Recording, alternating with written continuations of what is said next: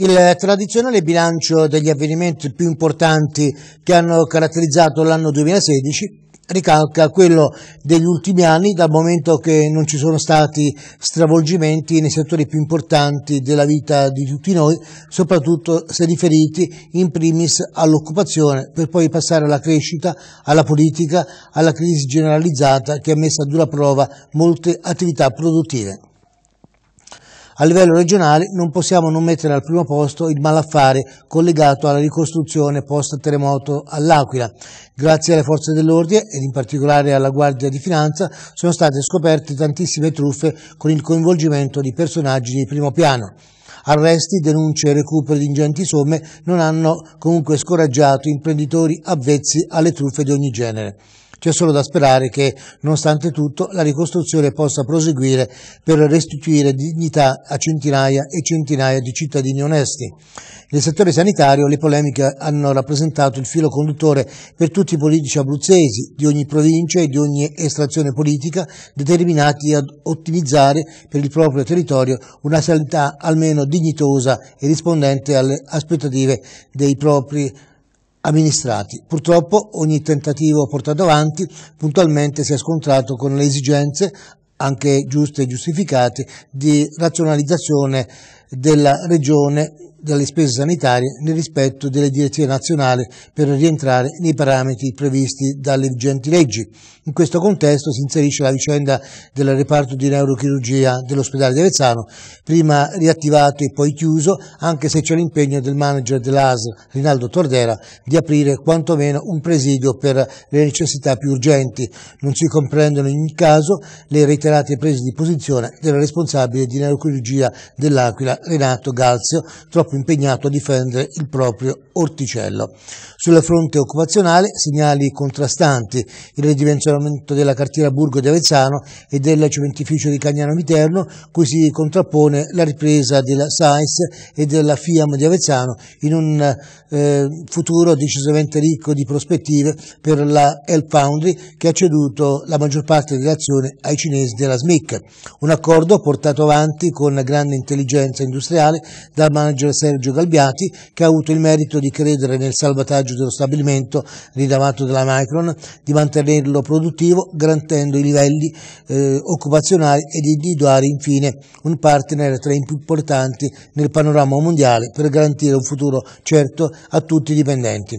Analizzando i vari avvenimenti del 2016 partiamo dal mese di gennaio con due importanti avvenimenti, la presentazione del Master Plan Abruzzo e del progetto Scuole Sicuro. Per il Master Plan esponenti politici regionali alla presenza di quelli locali hanno illustrato una serie di interventi previsti per Avezzano e la Marsica nel settore delle opere pubbliche, interventi destinati ad incidere positivamente nell'intera economia del territorio.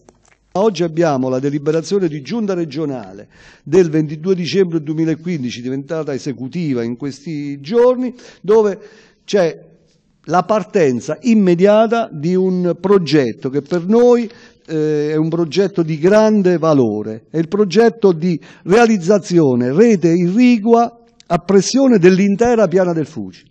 Perché abbiamo voluto questo? Col comitato dei sindaci presieduto dall'allora sindaco eh, Salucci di eh, Collelongo, insieme a tanti sindaci, bravi sindaci della Marsica, perché? Perché non abbiamo voluto lavorare e pensare di lavorare per il contributo per comprare un trattore o per quale, no, vogliamo fare in modo che con questi finanziamenti di 50 milioni, il cui inizio di lavoro è previsto proprio nel 2016, ci sia occupazione, ci sia in parole povere il rilancio dell'agricoltura in Abruzzo.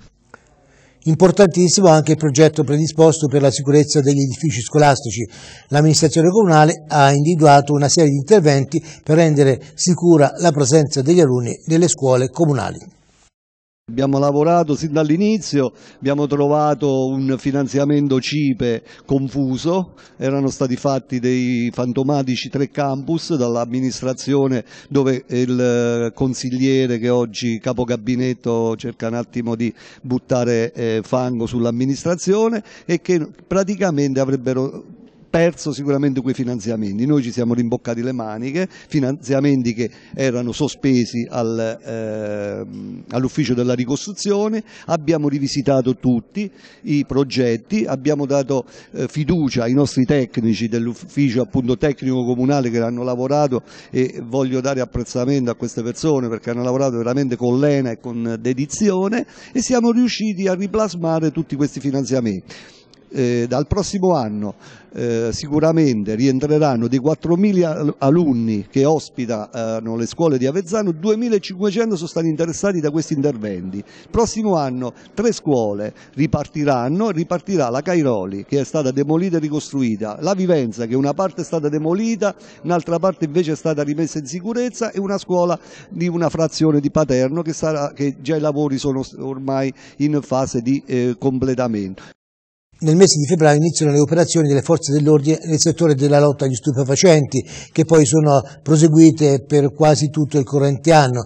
Da segnalare il sequestro, operato dagli agenti del commissariato di Avezzano, di ben 6 kg di droga. Dottor Gennacolo, una operazione importante che vi fa onore. Sì, è un'attività rilevante, frutto dell'impegno e della dedizione del mio personale, come ho spiegato poco prima, insomma, eh, nel mm, contrasto alla mm, detenzione e allo sfruttamento della droga eh, lo spaccio della droga eh, non sempre i risultati sono proporzionali a quello che è l'impegno, ci vuole anche un po' di fortuna, però la fortuna il mio personale sa cercarla, sa trovarla eh, sono stati fatti degli accertamenti eh, su una persona ovviamente che meritava un'attenzione particolare perché è sul nostro territorio, è in Avezzano, ha precedenti specifici eh, e quindi è stato giusto, sono stati intelligenti i miei operatori a credere in, uh, in questa attività con un'attività tradizionale, con l'appostamento che poi ha portato effettivamente a, a entrare in questa casa abbandonata dove eh, è stato trovato questo ingente quantitativo di, di droga. Nel mese di aprile viene presentato al pubblico il casino di caccia all'interno del Parco Torlonia. La struttura, completamente in legno, presentava i segni del tempo per cui necessitava di una ristrutturazione totale in grado di preservarla per gli anni a venire. Utilizzata nei periodi di caccia dal principe Torlonio, Torlonia anche in Francia conserva moltissime e preziose testimonianze della civiltà contadina abruzzese. Eccellenza, oggi un altro pezzo del patrimonio di Torlonia torna finalmente alla città, quindi possiamo dire che anche il casino di caccia appartenente al principe Torlonia torna agli abitanti che comunque l'hanno in un certo senso avvalorato con le sue gesta. Eh, è una ricostruzione o comunque una restaurazione materiale, però parliamo anche di una restaura restaurazione spirituale, quella che serve alla società. Ma certamente in bene e in problematiche, ovviamente la famiglia Terloni è legata alla storia, alla storia della nostra terra, ho detto in bene e in problematiche, ecco, senza fare in questo momento delle analisi storiografiche. Certamente la restituzione alla città di questo pezzo del Parco Torlonia vuole essere soprattutto una restituzione non soltanto di una memoria storica, ma una restituzione che diventi oggi una riofferta alla città di uno spazio, di uno spazio direi dove la città possa ritrovarsi come una specie di ampio campus culturale. Sempre ad aprile viene fatta un po' di chiarezza sulla vicenda della Power Group, la ipotizzata realizzazione, cioè nella zona di Borgo in Cile, a ridosso del Fucino, di una centrale a biomassima da sempre ostacolata dai cittadini e dalle associazioni ambientaliste. La Regione ha sancito il no, il game over come abbiamo detto. Eh, la conferenza dei servizi ha preso atto di questa decisione per cui per quanto riguarda la Regione Abruzzo e la comunità abruzzese è una pratica chiusa, completamente chiusa. Eh, certo è che abbiamo sentito l'esigenza, la necessità di fare questa conferenza dei servizi per eh, rendere evidente il percorso che è stato svolto finora eh, come attraverso la visione di atti. Prometteremo infatti le copie degli atti che hanno determinato questa decisione affinché i cittadini possano farsi un'idea proprio sulla base delle carte, come suol dirsi, che poi sono eh, le, gli strumenti eh, attraverso cui eh, la pubblica amministrazione esplica la propria attività, eh, quindi non con annunci né con comunicati stampa, ma sulla scorta di fatti. A maggio iniziano le prime preoccupazioni per le sorti dello stabilimento Vesuvius, ubicato nella zona del nucleo industriale di Avezzano, che realizza piastre per altiforni con lo sciopero dei dipendenti. Quelli che erano i timori delle maestranze dei sindacati, purtroppo a fine anno si concretizzano con la decisione della proprietà di delocalizzare all'estero la produzione con il conseguente licenziamento dei lavoratori pare che anche in questa circostanza eh, l'est europeo centri in, in, qualche misura, perché lì la manodopera non costa niente e qui invece è diverso. E allora?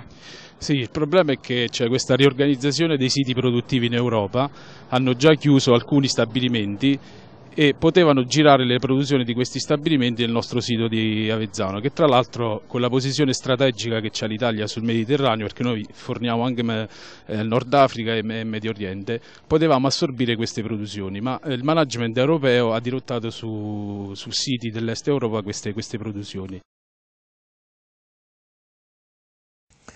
Per il calcio invece, grazie all'impegno del presidente Gianni Paris, l'Avezzano può iniziare una nuova stagione agonistica con rinnovato entusiasmo. La società nella sala stampa dello Stadio di Marzi, con largo anticipo, presenta l'allenatore, una vecchia bandiera del calcio bianco-verde, il bomber Pino Tortora. Come sei arrivato a Pino Tortora? Ma eh, tutto arriva dalle emozioni, dalle sensazioni e da quello che una persona ti dà anche senza dirtelo con le parole.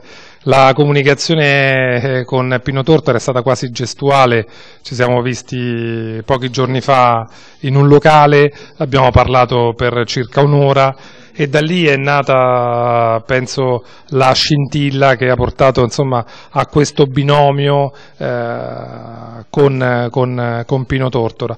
Mi piace pensare a questa idea del, dell'uomo venuto dal sud perché io poi mi sento più meridionale che, che altro e quindi come atteggiamento penso che sia la persona giusta per evitare eh, che ci siano gli alti e bassi in una stagione dove spero eh, veramente che l'Avezzano Calcio sia una sorpresa ma che eh, possa essere una sorpresa annunciata.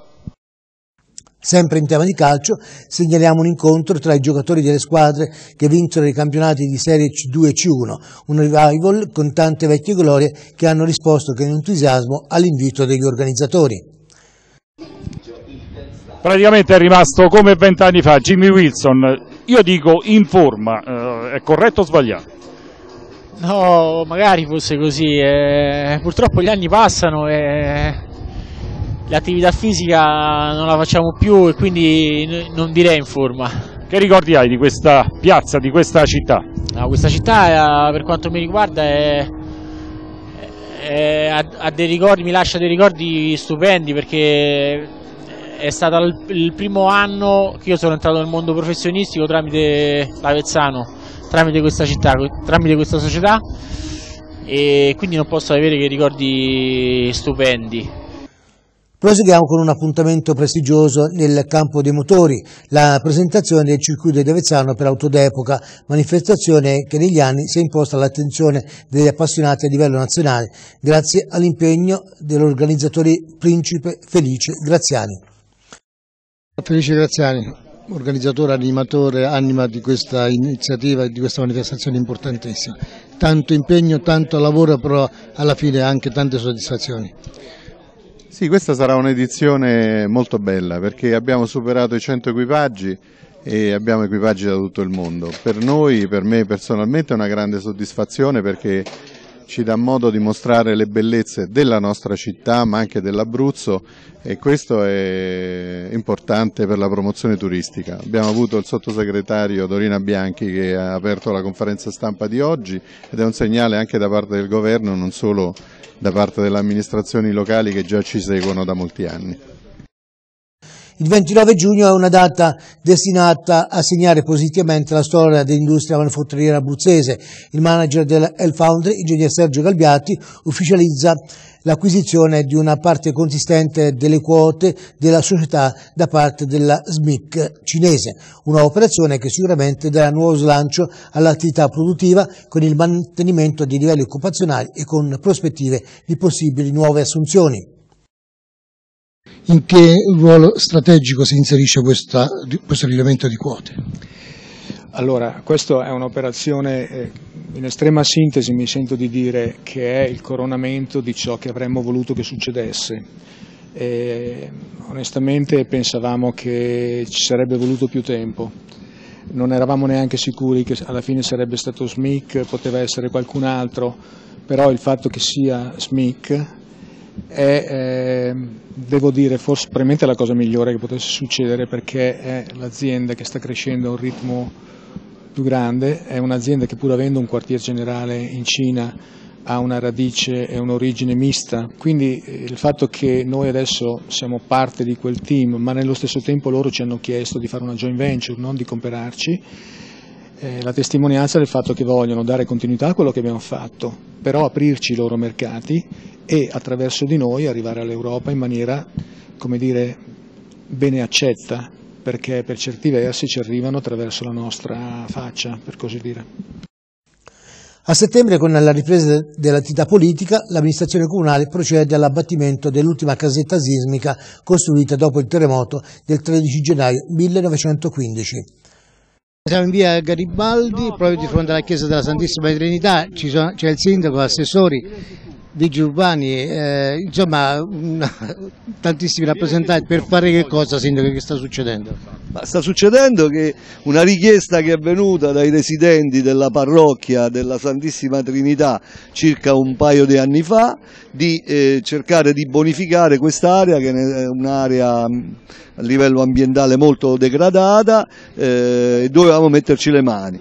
L'ho voluta fortemente, lo sanno tutti, lo sanno soprattutto i residenti di questa eh, parrocchia, lo sa Don Ennio, lo sa il priore, ma soprattutto naturalmente ho dovuto convincere, ma mettere nelle condizioni Bice, che era l'occupante di questa casetta, che confinava con questa area a fianco tutta degradata, tutta rovinata, dove molte volte, anzi spesso mi veniva denunciata la presenza di persone strane il popolo marsicano non resta insensibile al terremoto che ha colpito Amatrice e di tanti altri centri della zona ed organizza una manifestazione per raccogliere fondi da destinare alla ricostruzione. Siamo felicissimi, pieni di emozioni e contentissimi. No, meglio di così non poteva andare. Non poteva andare e oggi è solo l'inizio, immagino domani. Chi è questo signore vicino a te? È un caro amico di Amatrice che aveva eh, un ristorante, il ristorante Matru, dove si mangiava benissimo e che purtroppo non c'è più. Ecco, ehm, che cosa state facendo per riprendere a vivere?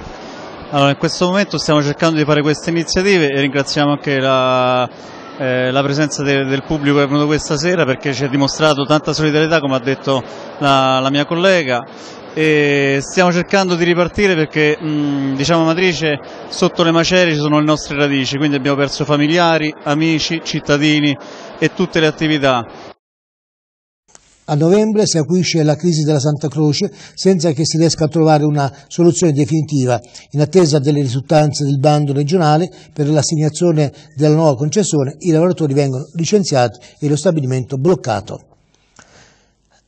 Ancora a novembre il giornalista avezzanese Filippo Fabrizi presenta il suo nuovo libro Le donne d'Avezzano. Innanzitutto la scintilla che ha fatto scoccare in te eh, l'idea di eh, buttare giù questa terza fatica, quando, quando eh, si è verificata? Dunque, intanto io non è che da scrittore sono diventato cronista, sono rimasto cronista, cronista delle vicende, delle persone, dei personaggi di Avezzano e della Marsica. Quando è scattata questa scintilla, chiamiamola così, che mi ha spinto a fare questo terzo libro, quando ho fatto il secondo libro, qualcuno mi ha rimproverato dicendomi che in quel libro non c'era nessuna donna, che erano tutti uomini. Ah sì? Allora io adesso ne farò un altro con tutte donne ed ecco che è nato Donne d'Avezzano. Per concludere non possiamo non fare riferimento agli innumerevoli furti in abitazioni in tutta la Marsica e nella provincia dell'Aquila in particolare ed all'arresto di decine e decine di spacciatori di droga da parte delle forze dell'ordine. C'è da sperare in un 2017 più soddisfacente sotto tutti i punti di vista a partire da quelli occupazionali con meno tensioni, più sicurezza, benessere e serenità. L'augurio che nel 2017 insomma possano realizzarsi i vostri sogni.